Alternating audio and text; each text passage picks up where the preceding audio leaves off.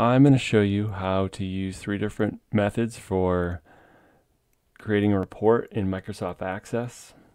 The first will just be the typical reports that you do using the reports uh, template. The second will be using VBA or Visual Basic for applications. And the third will actually be using Excel to connect to this uh, Microsoft Access database and uh, do counts that way. So let's start with a data set of employees. So we have their name, their date of birth, their position, uh, and uh, their assigned gender. And we can do this a number of different ways. So let's, why don't we start with the position? So we can just run some basic counts. What we can do is we go to create, We'll start a query and then we'll make a report based on a query. So go to query design, click on the data set, and this is how I like to do it. I like to put the thing I want to categorize. So we'll go to position and we'll add this ID. And then what we'll do is click on totals there. We'll do a count and then let's run it to see if it works. Great. So you can see we have four of the research assistants and two of these other ones here. Now if you want to do a total, you could go like this.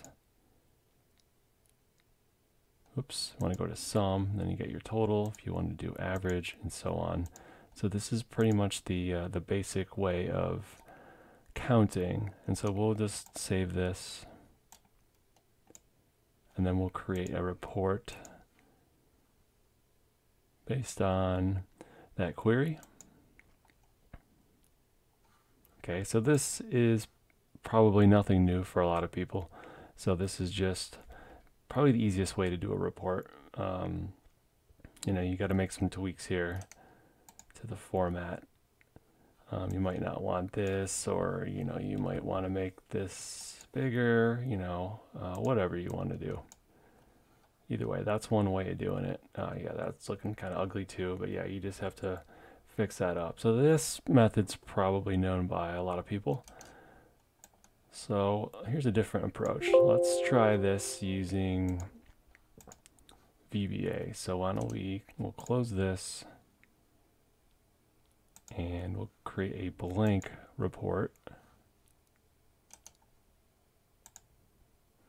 And let's look at, say, uh, research assistants. Let's see how many of those are. We can create a report like this, a custom report. So you want to do is you want to add a text box like this. And we can call whatever we want. We could just call it, uh, let's call it RA. So you want to right click, properties. Let's change the name to RA. Now we want to go to event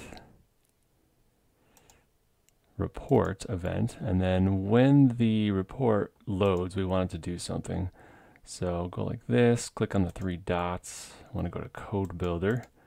And this is the uh, VBA area where you enter your code. So we'll go something like this. So let's make sure our RA thing shows up there. Great. We'll go like this. We'll do a D count or a domain count. And pretty much doing what we did before, we're just writing out the code. Okay, and employees, that's the name of our table. And then uh, what we want is the criteria. So we want the uh, field name is position equals research assistant. Okay, if this was a, uh, a number that we're going to put in here, we wouldn't have these little single quotes right here. But since this is text, uh, we want to keep that in there. And so let's double check our code here. Let's close this.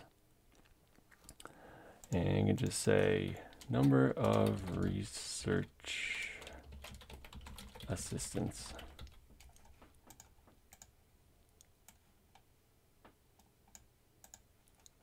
Let's run it see if it works. Oh no, we have an error. I forgot to put this here. That's why. Now let's try this again. There we go, four, perfect. So I won't uh, go through um, all the different types of employees here, but you get the right idea. So if you want to do this for data analysts, you do the same thing. Create a text box, uh, maybe DA, you might want to call it, uh, and uh, do the same domain count. So just to show you here,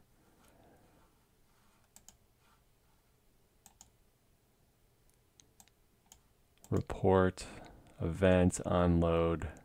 And so if you created another text box here, you named it uh, DA for data analyst, you do the same thing here pretty much, except you add it down here, you'd put uh, the, you'd copy and paste this really, and then uh, put uh, DA right there, and then spell out data analyst, and bam, it'll do the same thing. So you could do it like that too. So that's approach number two. Now, approach number three is a little unconventional, but um, if you're really good at Excel and you just don't want to deal with this, uh, it's an easy way to kind of customize your reports quickly. Um, everyone has their own way of doing things. I might do it this way or the, the first way, but uh, like I said, uh, it just depends on what you want to do. So why don't we go here. Here's an Excel file.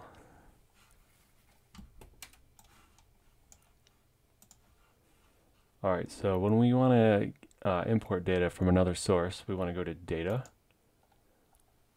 Get Data, and since it's from a Microsoft Access database, we want to click on Microsoft Access.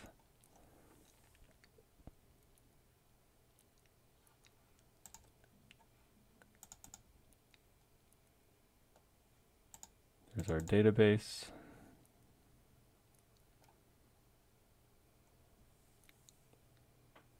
Then we want to put our table, which is called employees. It's looking good. We'll hit load. And there's our data from that table.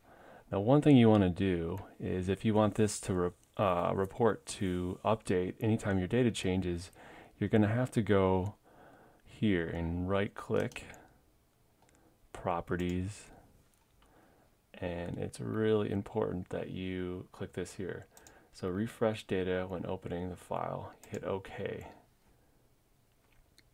Okay, just save it to be safe. And so you can do a number of things here. Uh, let's say we just want to count research assistants again. So type out research assistants. Okay, and then we'll do something like this. We'll just do a, a, a count if. Okay.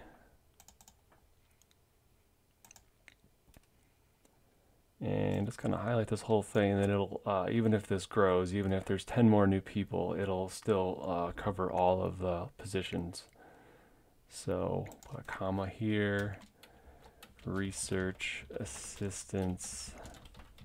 And if this adds up to be uh, four, we did it right. Oops, I didn't do something right there. Oh, it's a research assistant. Okay, there we go. So four. There we go. That's what we do.